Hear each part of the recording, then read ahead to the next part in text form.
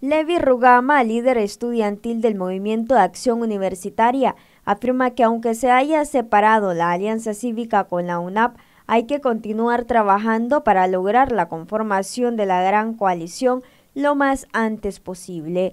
Personalmente creo que el tema de la unidad va lento pero seguro.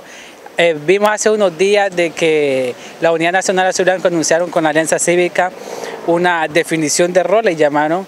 Nosotros creemos que es una separación para que a la hora de construir la gran coalición, pues este, la correlación de fuerzas beneficia a ambas partes, ya que son dos plataformas que estaban en una y con eh, conflictos pues, de mecanismos internos de, de toma de decisiones que les ponían en desventaja de una u otra forma a, la alianza, o sea, la unidad.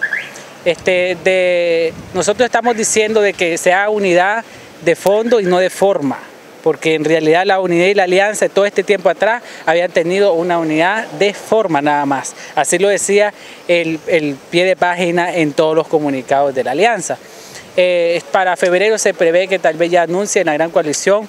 Hay este, organizaciones, organismos muy importantes que están trabajando con la Alianza y la Unidad para que el mecanismo que va a usar la gran coalición sea idóneo para que la correlación de fuerza beneficie a todas las partes. Rugama es de los que cree que la gran coalición la deben integrar también los partidos políticos.